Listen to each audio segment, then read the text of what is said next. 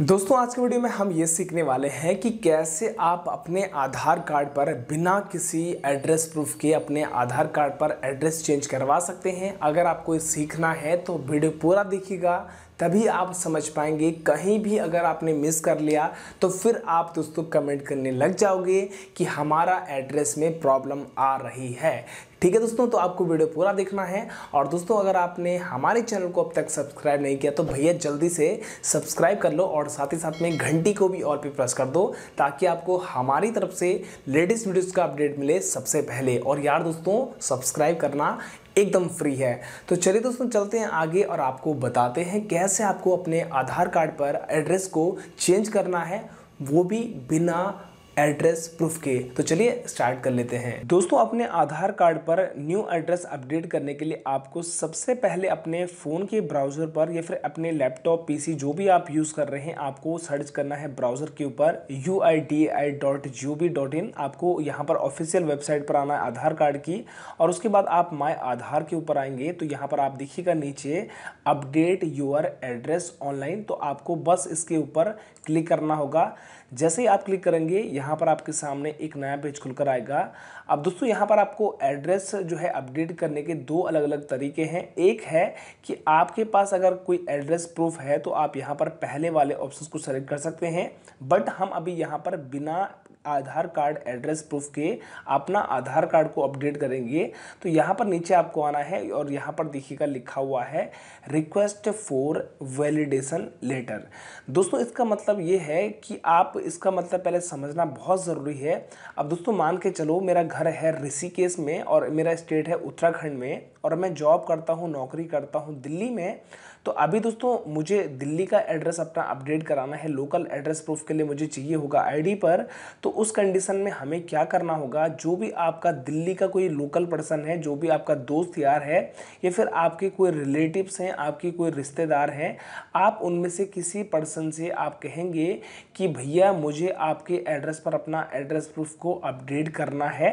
तो यहाँ पर होता एक्चुअली ये है दोस्तों कि जिस भी पर्सन के थ्रू आप अपना आधार कार्ड अपडेट कराओगे उसी आधार कार्ड के हिसाब से, उनके आधार कार्ड के हिसाब से आपके आधार कार्ड पर भी वही अब एड्रेस जो है अपडेट हो जाएगा। चाहे तो अगर आप रेंट पर रहते हैं तो आप अपने मकान मालिक से बात कर सकते हैं, कोई दिक्कत वाली बात नहीं है। यहाँ पर देखिएगा request for address validation letter पर हम जैसे क्लिक करेंगे और इसके बाद आपके सामने एक नया पेज खुलकर आएगा। अब दोस्तों, यहाँ पर देखिएगा, सबसे पहले आपको एक काम करना है, यहाँ पर आपको अपना आधार नंबर टाइप करना है। अगर आपके पास आधार नंबर नहीं है तो आप वर्चुअल आईडी का भी यूज़ कर सकते हैं। और जैसे आप यहाँ पर टाइप करेंगे, उसके बाद आपको यहाँ पर जो है, सबसे पहले इस कैप्चा को यहाँ पर फिल करना होगा। अगर आपको इस समझ में नहीं आता है, इसको चेंज भी कर सकते हैं, कोई दिक्कत वाली बात नहीं है। और उसके बाद आप यहाँ पर सेंड ओ पर क्लिक करेंगे। अब दोस्तों, आपका जो रजिस्टर मोबाइल नंबर है, उस पर एक ओटीपी आएगा, यानी कि वन टाइम पासवर्ड और उसको आप यहाँ पर फिल कर लेंगे। चलिए, हमारे पास ओटीपी आ चुका है। हम यहाँ पर इस तरीके से फिल कर लेते हैं, और उसके बाद आपको यहाँ पर इसको लॉगिन पर क्लिक करना होगा। अब दोस्तों, आपके सामने एक नया पेज खुलकर आएगा। यहाँ पर देख सकते हैं शेयर वेरीफेयर डिटेल तो यहाँ पर दोस्तों, आपको जो भी आपका लोकल का दोस्त है, या फिर आपका मकान मालिक है, या फिर आपका रिलेटिव्स है, आपको उनका यहाँ पर आधार नंबर डालना होगा और जैसे आप उनका आधार नंबर यहाँ पर टाइप करेंगे, उसके बाद आप यहाँ पर सेंड रिक्वेस्ट पर क्लिक करेंगे। अब दोस्तों, यहाँ पर आप देख सकते हैं, यहाँ पर लिखा हुआ है your request for Aadhaar validation letter is invited यानी कि दोस्तों, जिसका भी आधार कार्ड आपने दिया था, आधार नंबर दिया था, उनके मोबाइल नंबर पर एक जो है लिंक भेज दिया गया आधार कार्ड की तरफ़ से वेरिफिकेशन के लिए और उनको उस लिंक पर क्लिक करना होगा। चलिए हम उनके फ़ोन को ओपन कर हैं। अब दोस्तों, यहाँ पर आप देख पाएँगे कि हमारे एक दोस्त हैं लोकल में, जिनका मैंने यहाँ पर आधार नंबर फिल किया था और उनके नंबर पर एक जो है लिंक भेज दिया गया आधार कार्ड की तरफ़ से और उनको बस इस लिंक के ऊपर क्लिक करना है और जैसे इस लिंक के ऊपर क्लिक करेंगे, यहाँ पर डायरेक्टली ये लिंक खुल जाएगा गूगल क्रोम ब्राउज़र पर और जैसे यहाँ पर ओपन होगा, उसके बाद आपके सामने एक नया पेज खुलकर आएगा। आप दोस्तों, यहाँ पर देखिएगा, उनके मोबाइल नंबर पर एक ओ आएगा, वन टाइम पासवर्ड तो उस पासवर्ड को आप वो जो है यहाँ पर डाल देंगे चलिए वो यहाँ पर इस तरीके से पासवर्ड को एंटर करेंगे और उसके बाद दोस्तों नीचे यहाँ पर जो है कैप्चा जो आपको यहाँ पर दिख रहा है उसको यहाँ पर टाइप करेंगे और उसके बाद यहाँ पर वेरीफाई ओटीपी पे क्लिक करेंगे जैसे दोस्तों यहाँ पर वेरीफाई ओटीपी पे क्लिक करते हैं अब आप यहाँ पर देखिएगा ध्यान से कि इस तरीके से यहाँ पर उनकी तरफ़ से वेरीफाई हो जाएगा और यहाँ पर लिखा हुआ आ चुका है कि यहाँ पर you have successfully given your consent for using Aadhaar your Aadhaar address ठीक है दोस्तों? तो यहाँ पर जो भी मेरा फ्रेंड था, उनका जो है, उन्होंने अप्रूवल दे दिया है। अब मुझे क्या करना है? सबसे पहले मुझे दोबारा से जो है, अपने आधार कार्ड पे आना है। अब दोस्तों, यहाँ पर देखिएगा, जो भी हमारा फ्रेंड था, उन्होंने हमें अप्रूवल दे दिया है। अब हमारे मोबाइल नंबर पर जो है, एक इस तरीके से लिंक भेज दिया जाता है। तो अब हमें क्या करना है? अपने मोबाइल नंबर पर जो लिंक रिसीव हुआ है आधार कार्ड की तरफ़ से तो यहाँ पर आपको सबसे पहले इस लिंक के ऊपर क्लिक करना है और यहाँ पर आपको एक एस नंबर दिखेगा। आपको इस एस नंबर को वहाँ पर फिल करना है।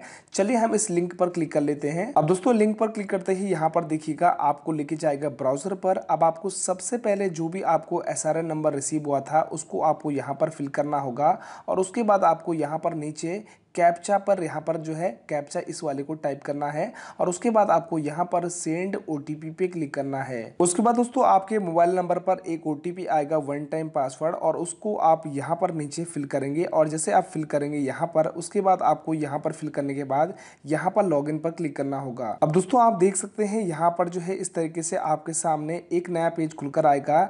अब यहाँ पर जो भी कंसर्न का एड्रेस था, जो भी मेरे दोस्त का एड्रेस था, यहाँ पर आपको एड्रेस दिख जाएगा। यहाँ यहाँ पर दोस्तों मैं आपको एक बात बता दूँ कि यहाँ पर आप यहाँ पर कुछ भी एड्रेस चेंज नहीं कर पाएँगे।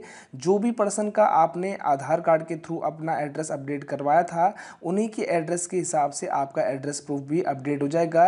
लेकिन आप यहाँ पर अपनी लोकल लैंग्वेज में यहाँ पर एडिट कर सकते हैं। अगर आप हिंदी, बंगाली, मराठी, पंजाबी में करना चाहते हैं तो आप कर सकते हैं। उसके बाद आपको नीचे आना है और अब आपको यहाँ पर जो है टिक मार्क कर लेना है। जैसे दोस्तों आप यहाँ पर टिक मार्क करेंगे, अब आपको यहाँ पर सबमिट करना होगा। होगा। जैसे आप यहाँ पर सबमिट करेंगे, उसके बाद दोस्तों आपके सामने जो है एक नया पेज खुलकर आएगा और यहाँ पर देखिएगा लिखा हुआ है your address validation letter request has been successfully submitted you will receive the letter via post तो दोस्तों यहाँ पर आपको 15-20 दिन या फिर आपको तीन महीने के अंदर अंदर यहाँ पर एक रिक्वेस्ट लेटर आ जाता है, जो कि बाई पोस्ट आता है आधार कार्ड की तरफ़ से और आपको वहाँ पर एक जो है कोड दिया जाता है और उस कोड को आपको कैसे फिल करना है, चलिए हम उसको आपको बता देते हैं। अब दोस्तों, जैसे ही आधार के थ्रू आपके जो है नए एड्रेस पर एक वैलिडेशन लेटर भेज दिया जाता है बाई पोस्ट और उस पोस्ट पर आपको जो है कुछ नंबर दिखेगा, आपको क्या करना है, यहाँ पर आपको माई आधार के ऊपर आना है जब भी आपको रिसीव हो,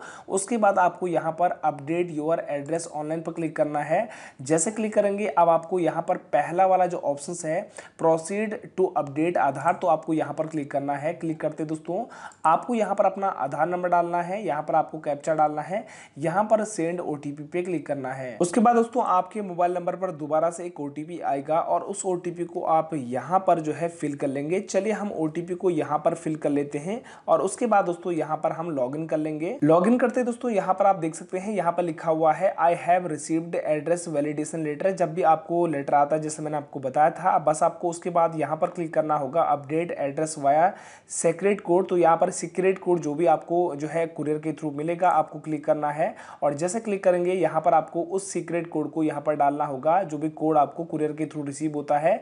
उसके बाद आपको यहाँ पर प्रोसीड पर क्लिक करना होगा। जैसे दोस्तों आप प्रोसीड करेंगे, उसके बाद दो से तीन दिन में आपका एड्रेस प्रूफ पर नया वाला एड्रेस प्रूफ इजीली अपडेट हो जाएगा। जाएगा। अब दोस्तों, यहाँ पर अगर आप चाहो तो अपने आधार कार्ड का एड्रेस का अपडेट भी यहाँ पर चेक कर सकते हैं कि अपडेट हुआ है, नहीं हुआ है। आपको दोबारा से UIDAI की वेबसाइट पे आना है माई आधार पे आना है और जैसे आप आएँगे, यहाँ पर देखिएगा check online address update status पर आपको क्लिक करना है। जैसे क्लिक करेंगे, अब आपको यहाँ पर सबसे पहले अपना आधार नंबर नंबर डालना है। उसके बाद आपको यहाँ पर जो है एस नंबर डालना है। चाहे तो आप यहाँ पर यू नंबर भी डाल सकते हैं। उसके बाद आपको ये वाला कैप्चा यहाँ पर डालना है। चेक स्टेटस करना करना है और यहाँ से इजीली आप चेक स्टेटस करके अपना स्टेटस भी जान सकते हैं। और दोस्तों, साथ ही साथ में मैं आपको बता दूँ कि जब भी आप नया एड्रेस प्रूफ या कोई भी करेक्शन करवाते हैं तो आपको 15 से 20 दिन का टाइम में आपको एक नया आधार कार्ड आपके एड्रेस पर यू की तरफ़ से भेज दिया जाता है बाई पोस्ट तो आपको वहाँ पर आपको नए एड्रेस पर रिसीव हो जाएगा। आई होप दोस्तों, आपको वीडियो बहुत ज़्यादा हेल्पफुल लगा होगा और आप समझ गए होंगे कैसे आपको अपने आधार कार्ड पर एड्रेस चेंज करना है। अगर आपको वीडियो अच्छा लगा हो वीडियो को लाइक करो, अपने दोस्तों को शेयर करो और अगर आपका कोई सवाल है क्वेश्चन है तो आप जो है कमेंट बॉक्स में कमेंट करो। तो चलिए दोस्तों, जल्द मिलते हैं कुछ इंटरेस्टिंग और नए वीडियो के साथ में। तब तक आप लोग अपना ध्यान रखिएगा। So thank you